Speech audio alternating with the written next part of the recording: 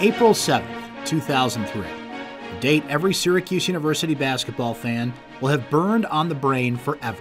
The day Syracuse basketball finally won the national championship. Sure, you remember what happened that day like it was yesterday.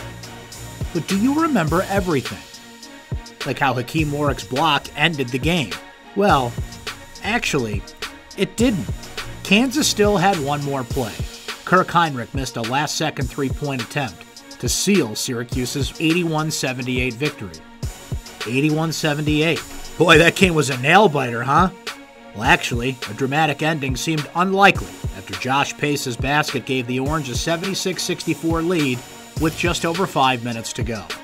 Do you remember that before Warrick became a hero, he missed two important free throws down the stretch? While it was Syracuse that stumbled a bit at the free throw line in the final minutes, it was Kansas that went 12 for 30 from the free throw line overall, making just 4 of 17 in the second half. You certainly remember Syracuse's Gerry McNamara hitting six three pointers in the first half, part of a stellar effort by the Orange from beyond the arc as they were 11 of 17, Kansas just 4 of 20. You certainly remember that Carmelo Anthony led the way that game and throughout Syracuse's magical 2003 season, scoring 20 points in the title game. What you may not remember is he was held scoreless over the game's final 13 minutes. Nick Collison of Kansas grabbed 21 rebounds in that game. 21! Do you remember what was happening in the world April 7, 2003?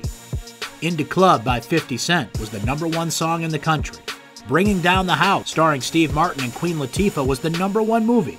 It cost $1.83 per gallon to fill your gas tank. U.S. troops had captured Baghdad that night, with Saddam Hussein's regime to fall just two days later.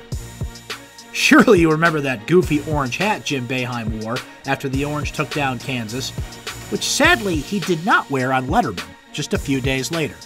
As time fades, we won't remember all the details about that night, but no Syracuse fan will forget how they felt on April 7th, 2003.